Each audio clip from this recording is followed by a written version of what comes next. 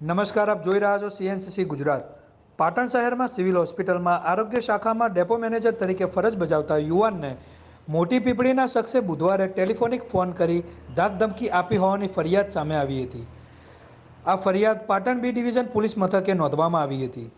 રાધનપુર ખાતે રહેતા મૌલિકકુમાર રસિકલાલ રાવલ બુધવાર પાટણ સિવિલ હોસ્પિટલમાં આરોગ્ય શાખામાં ડેપો મેનેજર તરીકે ફરજ બજાવતા હતા. ત્યારે તેમના મોબાઈલ પર રાધનપુર તાલુકાના મોટી પીપળી ગામના રાવલ ભાવેશ ઉર્ફે હળવદ માધવલાલે ફોન કરીને તેમને અપશબ્દો બોલવા લાગ્યો હતો. મૌલિક કુમારે કહ્યું કે, તમારે જો કોઈ પ્રોબ્લેમ હોય તો મને રૂબરૂમાં વાત કરો. તેમ કહી અને ફોન કાપી નાખ્યો હતો. ત્યારબાદ શખ્સે થોડીવાર પછી વારંવાર ફોન કરી તને અને તારા માતા પિતાને જાનથી મારી નાખવાની પણ ધમકીઓ આપી હતી. આ અંગે પાટણ બી ડિવિઝન પોલીસ મથકે રાવલ ભાવેશ માધવલાલ રહેવાસી મોટી પીપળી સામે ફરિયાદ નોંધાવી હતી.